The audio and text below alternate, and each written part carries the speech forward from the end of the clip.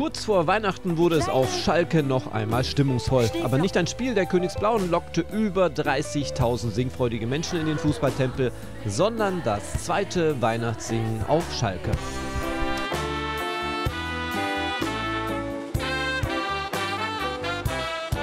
Nach der gelungenen Premiere im Vorjahr wurde auch in diesem Jahr die Felddienstarena in einen Ort voller Besinnlichkeit und Wärme getaucht. Tausende Besucher sangen ausgewählte Weihnachtslieder zusammen mit einem Chor und vielen bekannten Künstlern, wie zum Beispiel Lucy oder pur Frontsänger Hartmut Engler.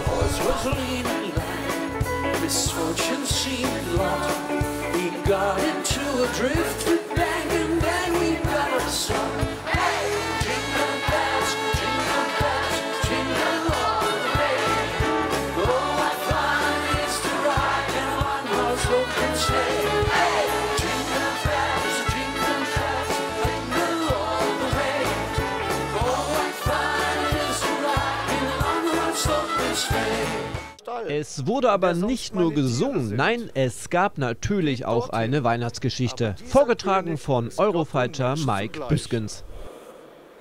Maria und Josef bedanken sich bei den Männern.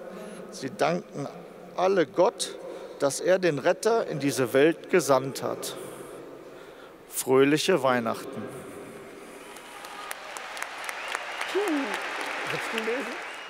Zwei Stunden volles Programm im Fußballtempel.